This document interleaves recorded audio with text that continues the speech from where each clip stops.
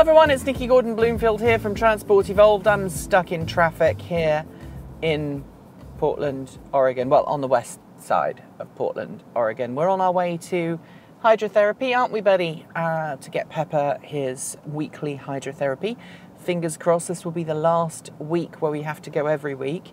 Um, he had an injury not too long ago that kind of pushed him into a week by week hydrotherapy schedule. But last week, his veterinarian said that fingers crossed he'll go to two, uh, two times a month as of this week. So fingers crossed.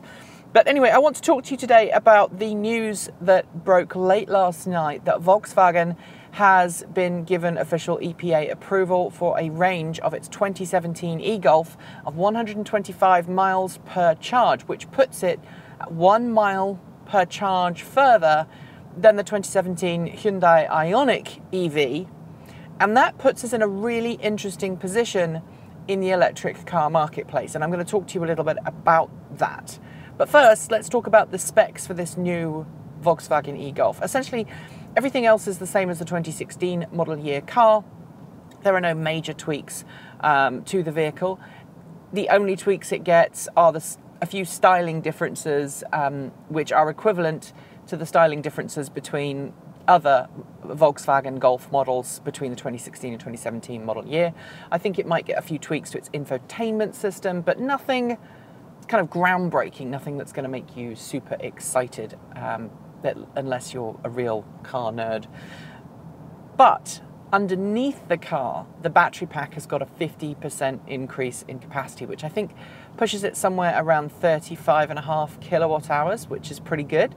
Um, and that is how Volkswagen's been able to increase the range from the 84 miles of its 2016 model year car to 125 miles for the 2017 model year car. Everything else remains the same.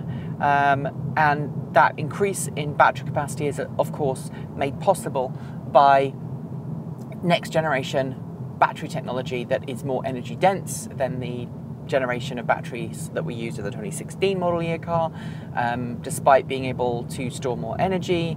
The actual physical dimensions of the battery pack remain unchanged, so the battery pack in the 2017 e-Golf will take the same space as the 2016 e-Golf in terms of, of capacity. But what's really interesting here is that it now means that there are two cars in the electric vehicle marketplace that are very similarly priced, that offer very different takes on electric vehicles.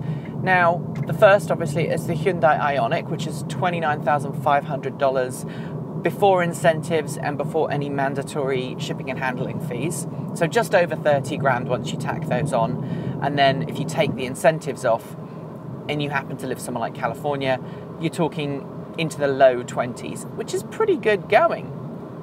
The Volkswagen e Golf pricing for which has not been announced yet, um, I think is going to have to come in at a similar price, otherwise, Volkswagen's going to lose its shirt.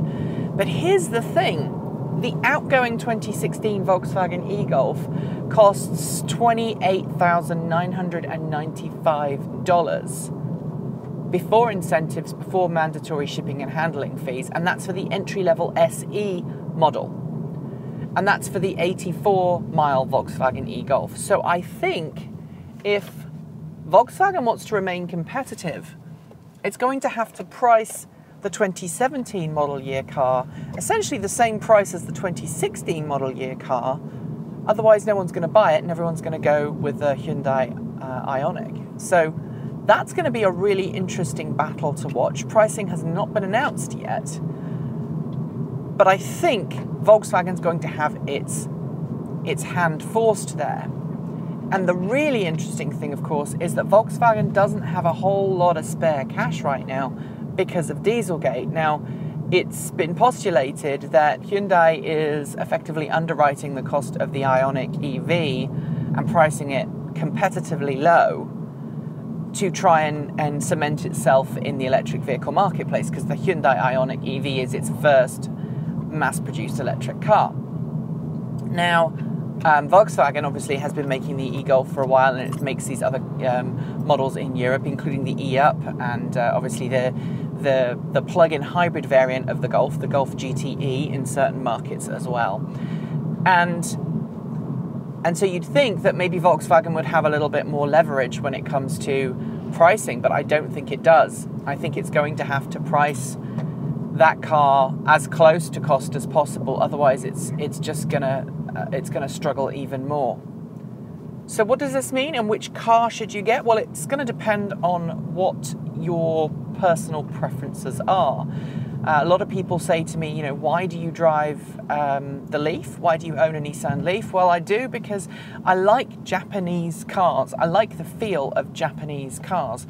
Before we had the Leaf, we've we've had three Toyota Prius before, um, and obviously I own a Toyota Rav4 EV. So we like the feel of Japanese cars, and I prefer that to the feel of American cars. And for some people, the feeling that they get behind the wheel of the Hyundai Ioniq EV is just going to be uh, a more comfortable feel than perhaps um, they'll get from the Volkswagen e-Golf. If you are a fan of German engineering and German design, I am. I like Golfs, I used to own one.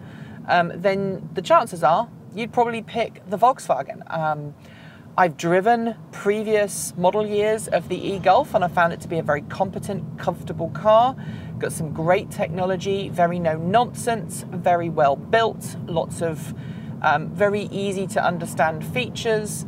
Um, the trunk space, the boot space is reasonably good. It's not quite as big as the Leaf, but you know, it's it's it's a good car. And I would be lying if I said to you that I hadn't considered buying an e-Golf. I have multiple times. Now, this 2017 Volkswagen e-Golf, the entry level model, I don't think will have CCS as standard, but the SEL, which is kind of the premium version of the 2017 Volkswagen e-Golf, that will come with uh, CCS combo quick charging as standard. Um, obviously, CCS quick charging will come on the Ioniq EV as well. I'm not sure if that's a standard fit or not, so um, you may have to look that up after watching this video. But these two cars are really true competitors. Now, styling, again, is going to be down to personal preference. I think the Ioniq EV is probably going to be slightly larger than the e-Golf, and I'll admit that with Volkswagen there is probably some some premium that you'll pay to be buying a Volkswagen. Um, it's just the way that the Golf brand is set up. Which one would I choose? Well, I haven't driven the Ioniq, so I can't tell you for sure. Um, but I'm hoping at some point I can get both of these cars and do a side by side review because they both seem to be very much competitors if Volkswagen can actually price the e Golf so that it matches the price of the Ioniq EV. And if it does, then we could see a new round of price wars between these what I'm going to call mid range electric cars. It's not the Chevrolet Bolt EV. I think the Chevrolet Bolt EV is going to win a huge number of customers. But as I said in the Ioniq video the other day, at about seven, eight grand more for about twice the range, not everybody can afford to pay that extra money. And, you know, eight grand is a lot of money.